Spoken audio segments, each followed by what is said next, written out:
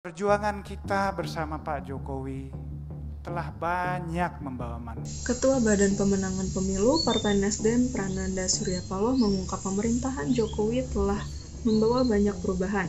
Menurutnya, Anies Baswedan akan melanjutkan pembangunan yang dilakukan Jokowi ketika sudah menjadi presiden nantinya.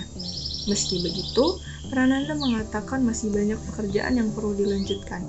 Ia menyebut itu semua untuk kepentingan masyarakat Indonesia.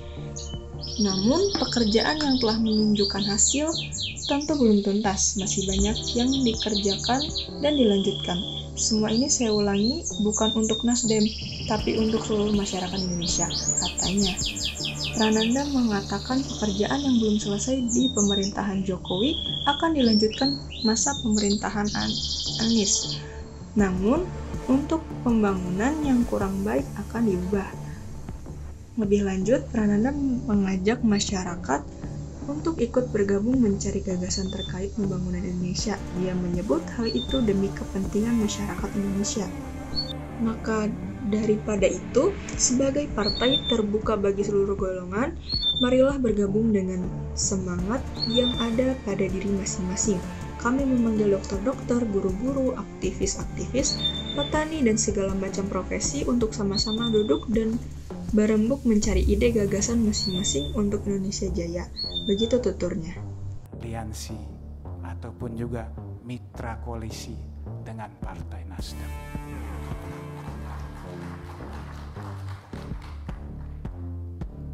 Namun pekerjaan yang telah menunjukkan hasil tentu belum tuntas.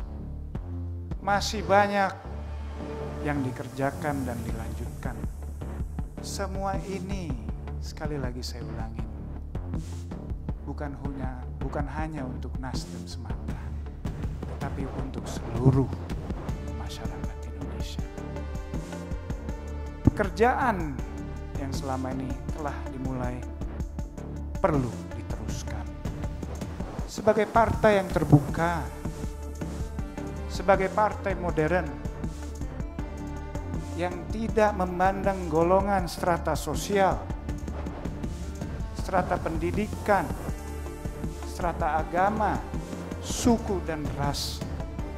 Nasdem memanggil seluruh anak bangsa untuk ikut melanjutkan pembangunan yang telah dimulai dan mungkin akan dilanjutkan oleh Presiden Anies Baswedan.